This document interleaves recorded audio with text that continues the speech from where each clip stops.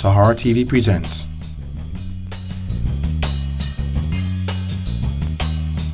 Election Breakdown.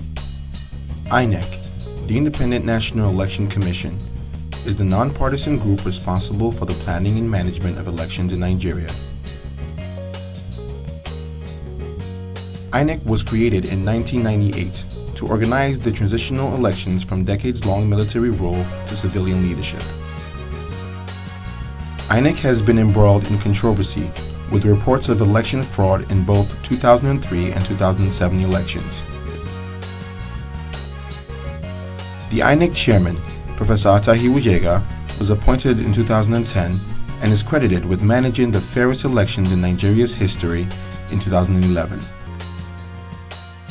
INEC's credibility is under threat by massive budget cuts in 2015 and anticipation of systematic voter fraud. This is the Sahara TV election breakdown. Thank you for watching.